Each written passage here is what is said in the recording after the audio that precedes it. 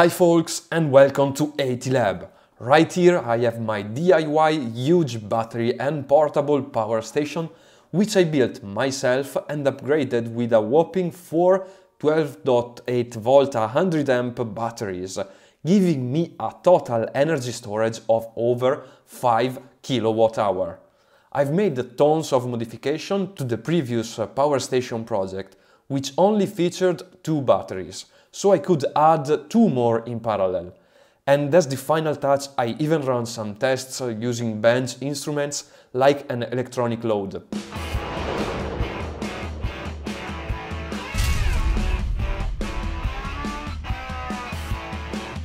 The very first thing I really need to do is installing wheels on this mega power station cause it's just way too heavy.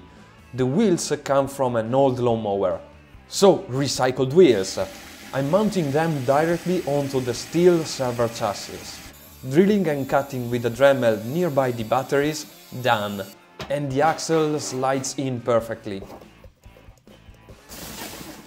And for this project something special has arrived from JLC PCB. But it's not a PCB, there's something much better inside this bright red package. Let's open it up. And here it is.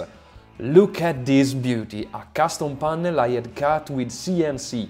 Absolutely stunning. The dimension should be spot on. Now I just need to mount everything onto this panel. And check this out. I got laser etched labels like ATLab power supply and it features also ventilation holes cut out. This thing is really the next level and I'm so hyped guys, you can hear me. Thanks to their manufacturing services you can create all kinds of custom objects using CNC milling or 3D printing in various materials at super low costs. Perfect for rapid prototyping. Plus, Thanks to their online support chat, I quickly fixed some design issues, and everything was confirmed with an online preview.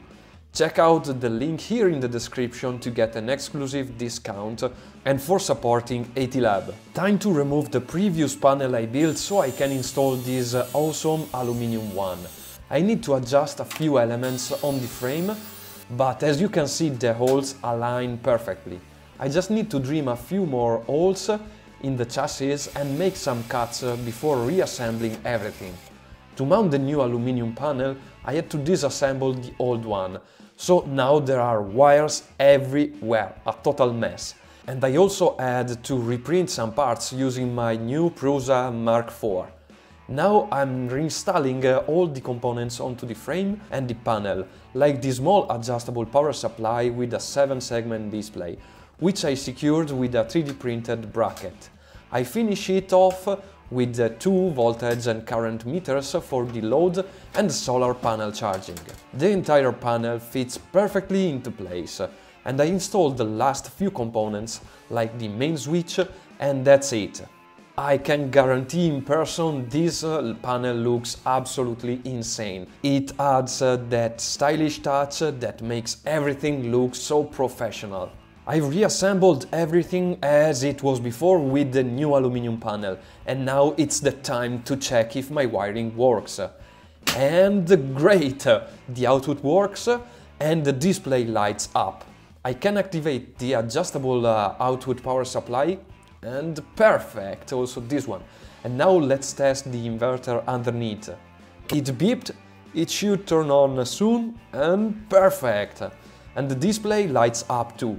So everything is working fine. Now I just need to connect the battery charging system. For charging I use a dedicated charge controller which I need to wire up. On one side the input it's connected to a shunt resistor to measure up to 20 amp and on the output side it connects to the batteries through a fuse panel. Underneath I've installed the charge controllers and the shunt that measures how much current I'm pulling from the solar panels to charge the batteries. And up here you can see the fuses. I didn't show them last time, but they were already installed. And now it's time for the final test, charging everything using the solar panel on my balcony.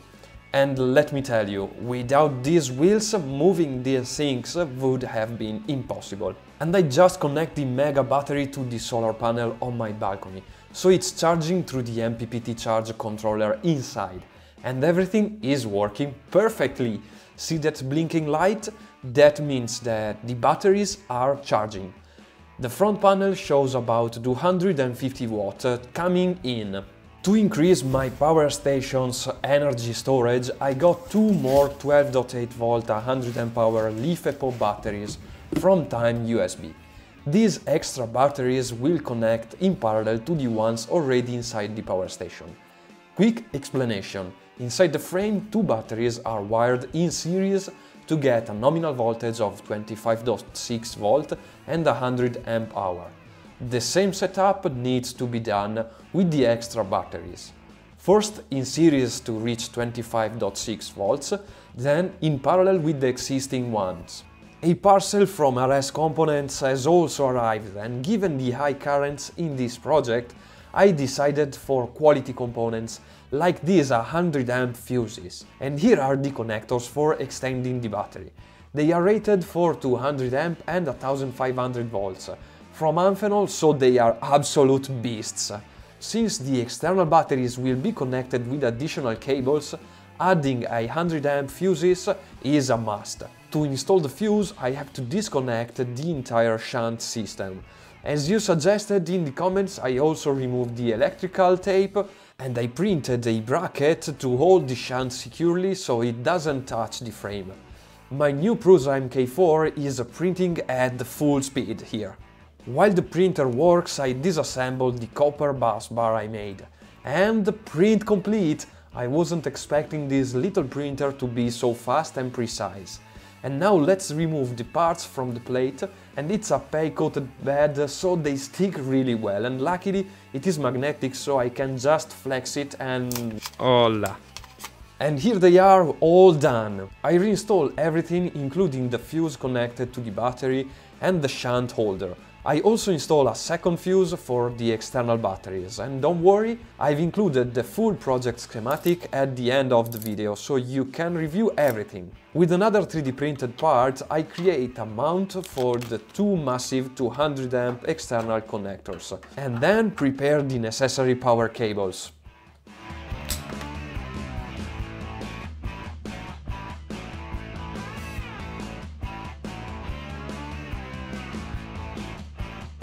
Here are the two connectors that will link the external battery.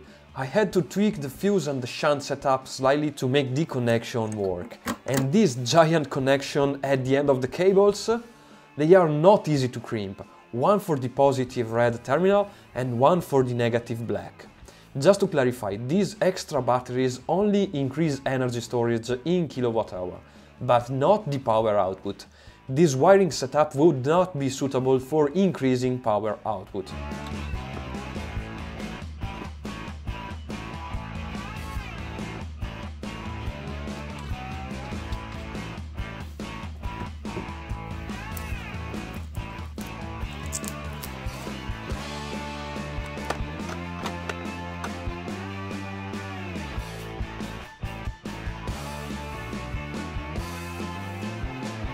Before everything I charged the battery pack using the solar panel and now I'll check the voltage and it reads 26.15 volts, matching the two batteries in the garage.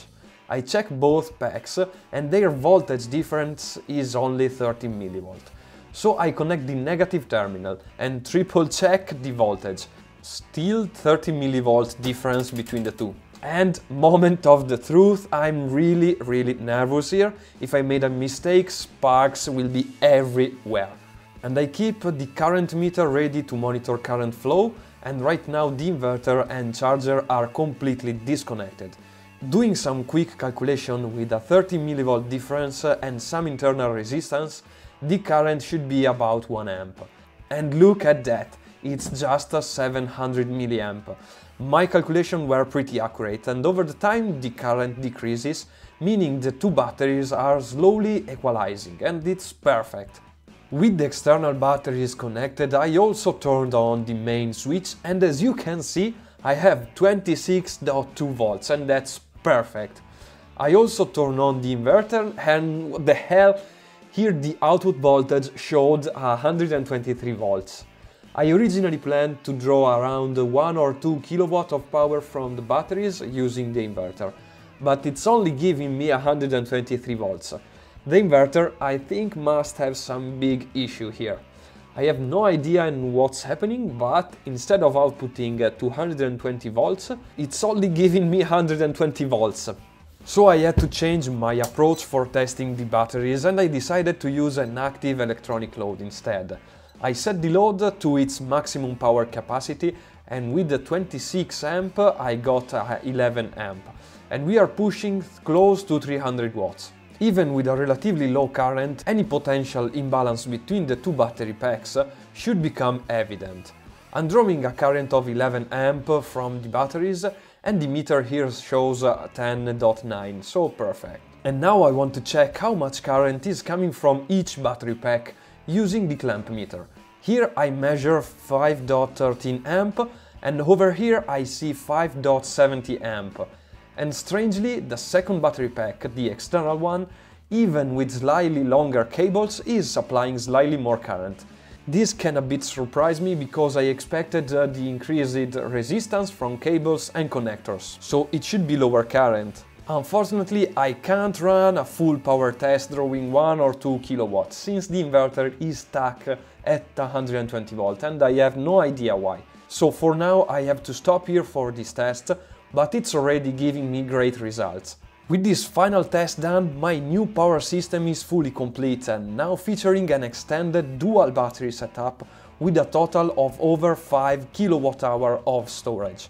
Forget about the inverter issue, which I'll either repair or replace, the whole system works perfectly, including solar charging, adjustable outputs and the fast charging USB port.